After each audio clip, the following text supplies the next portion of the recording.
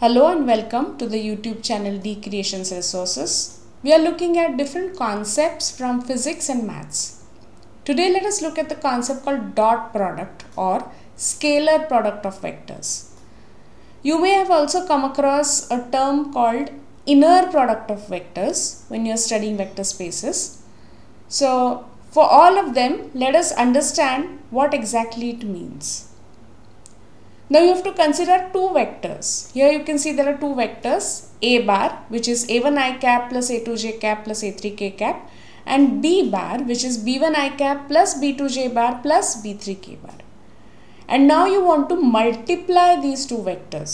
So how do we do it? There are two ways. There is dot product as well as cross product.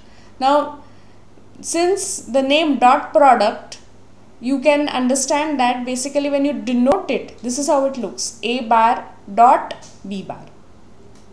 Actually, scalar product is a more suitable name because it tells you what kind of an output you are going to get. If it's a scalar product, when you multiply these two vectors, you get a number as a result or you get a scalar as a result and that's why this is called scalar product of vectors. So what do you have to do? You have to consider components of the vectors, multiply them and then finally take sum of products of the corresponding components. So here you can see what is the i component for a bar, it's a1. Similarly for b bar, it's b1. So you have taken these two together and multiplied them, taken a product, a1, b1. Similarly in case of j cap, a2, b2. And third, in case of k cap, A3, B3. So you have three terms A1, B1, A2, B2, A3, B3 and now you have to add them up. So the dot product is going to be equal to A1, B1 plus A2, B2 plus A3, B3. Now um, maybe before looking at some more notations, let us just solve a quick question on this. So let us say there are these two vectors a bar is i cap minus 2j cap plus 3k cap and b bar is 4i cap plus 5j bar 5j cap minus k cap. Now what is our rule? You have to multiply the first i components similarly then j components k components and add them up. So going back what is the i component here? This is 1 and this is 4. So this is 1 into 4 is 4. Then here it's minus 2 into 5 so it's minus 10 and this is 3 and minus 1 so minus 3 so 4 minus 10 minus 3 or 4 minus 13 which is basically minus 9 so the answer is minus 9 so this is how dot product works. Now going back there is another notation here. If you consider the angle between these two vectors and if you say that that angle is theta then the product dot product is going to be magnitude of vector A magnitude of vector B into cos theta. If you have forgotten how to find out the magnitude or length of a vector, we have another episode on that. You can just check it out.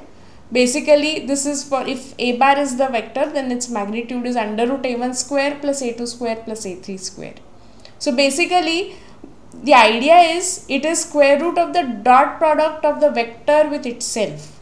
So here instead of a1 b1 it will be a1 into a1 so a1 square a2 into a2 a2 square and a3 into a3 a3 square so a1 square plus a2 square plus a3, a3 square and you are just taking its square root. So that is again based on dot product itself.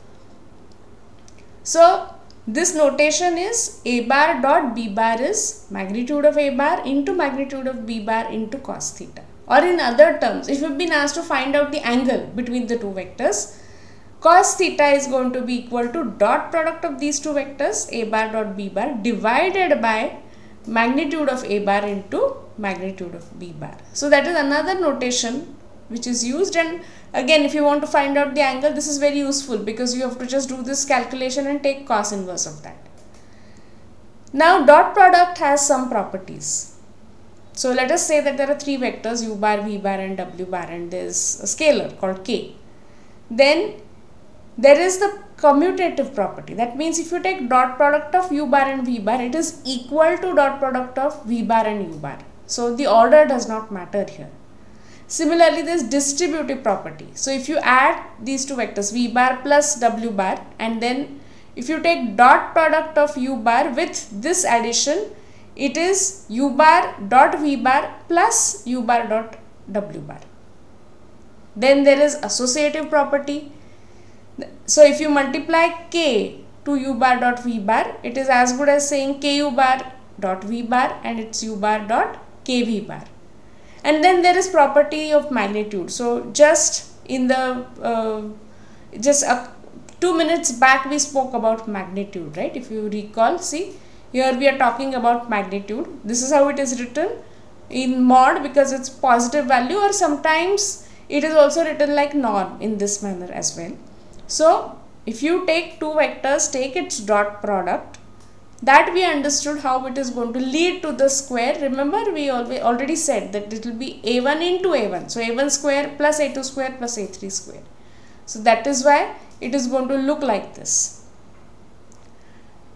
Now when you see this, these properties, they can be useful to you in some complicated situations when certain vectors are there and you want to calculate it, your life will become simpler.